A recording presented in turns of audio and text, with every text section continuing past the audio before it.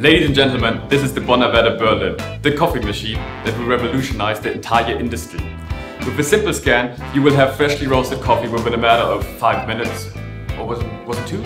Well, well, with the incorporated internet connectivity and a camera, you can even display the hottest stock market trends if you want to. So, let's check it out.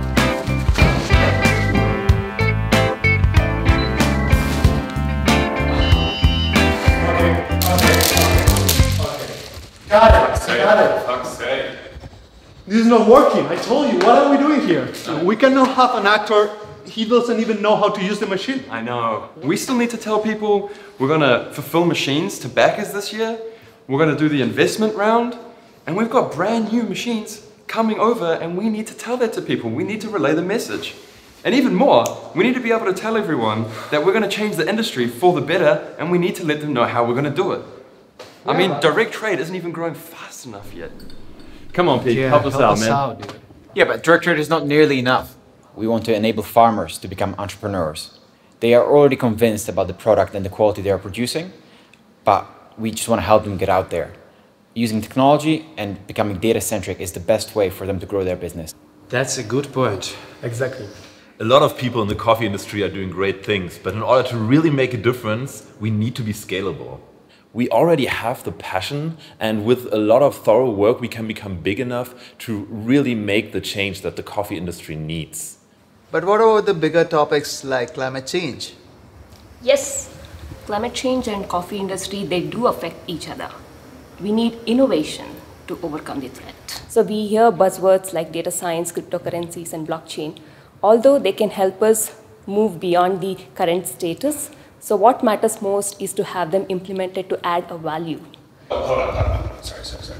So we got climate change and we have innovation, but how are you engaging your customers?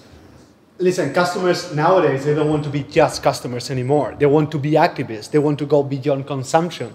They need to be part of a journey. Where products come from? Where are they going? Where are we at? And in this journey, we create meaning. We understand who we are as well. We have to go beyond ironic consumption. The things that we don't believe in, but you know, it's just what it is. We can go beyond that. We can create meaning. Consumption is one of the most powerful tools in a globalized society. So, what is the big picture?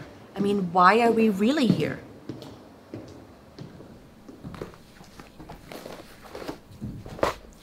So, why are we here today? We could be all sitting in the sun somewhere nice, but we want to build a legacy. And I can tell you, we will. Because we've tried so hard and it was challenging, but we've overcome the challenges and built a fantastic product. We've had friends, family, wife, three kids, a team of 17. And I can tell you, this product is going to change an entire industry. The second largest industry, in fact. And it will do so with a big gong.